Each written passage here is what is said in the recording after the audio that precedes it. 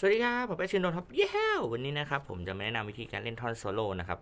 เพลงไหนว่าจะไม่หลอกกันนะครับ ของพี่ๆ Silly Fools นะครับ เพลงนี้อยู่ในคีย์ G นะครับ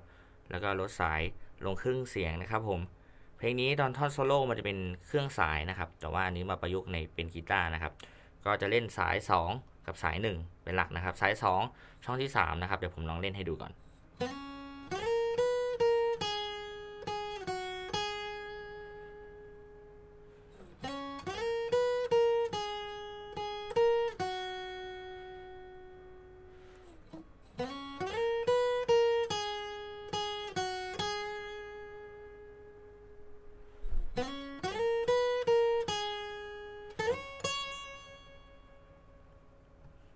ประมาณนี้นะครับ ก็เริ่มที่สาย 2 ช่องที่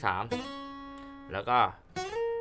มาเป็นสาย1นะครับ ช่องที่ 7 ไป 7 นะครับ แล้วก็มา 8 แล้วก็ 7 แล้วก็ 5 อ่า แล้วก็ซ้ำห้าอีกทีหนึง แล้วก็มา 3 5 อ่าเอาใหม่นะครับ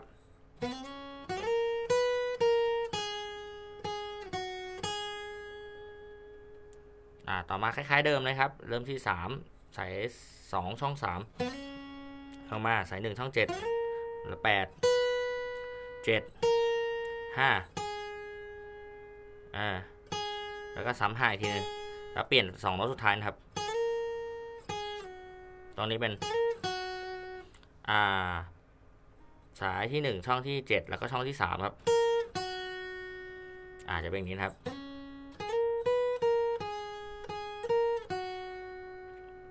พอมาต่อมาชุดที่3นะครับก็เหมือนชุดแรกนะครับ ก็จะเป็น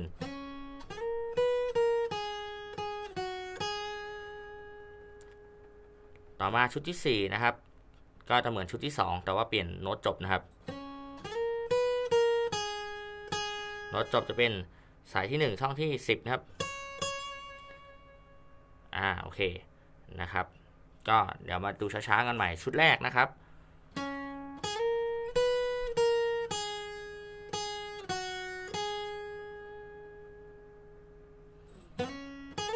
อะชุดสอง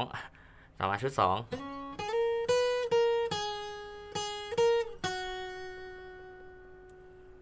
อะต่อมาชุดสาม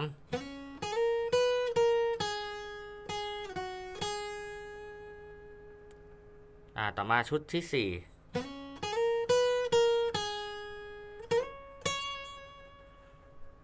อ่า โอเค คราวนี้เดี๋ยวลองเล่นทั้งหมดช้าๆให้ดูอีกทีหนึ่งนะครับ ก็จะเป็น Thank you.